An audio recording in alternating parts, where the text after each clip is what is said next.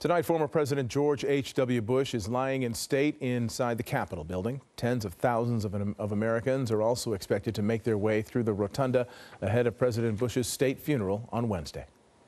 The flag draped casket of former President George Herbert Walker Bush in the center of the Capitol rotunda.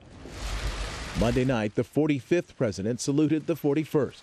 President Trump and the First Lady joined thousands of other Americans for the public viewing that will last until the state funeral on Wednesday.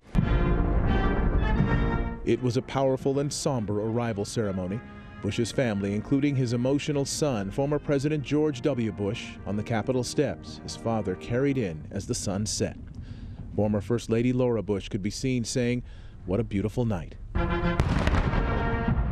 After that 21 gun salute, stirring tributes to America's longest living president and his life of service. His example will always inspire, and his lifetime of service will be enshrined in the hearts of the American people forever.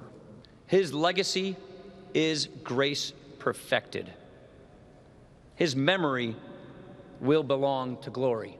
It will be a week of commemorations. Special Air Mission 41 set off from Houston carrying Bush 41 for his final journey to Washington.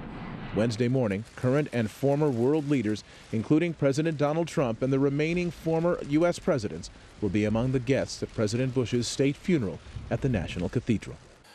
After the state funeral, Bush 41 will be flown back to Houston for a second service. He will be laid to rest next to his wife, former First Lady Barbara Bush.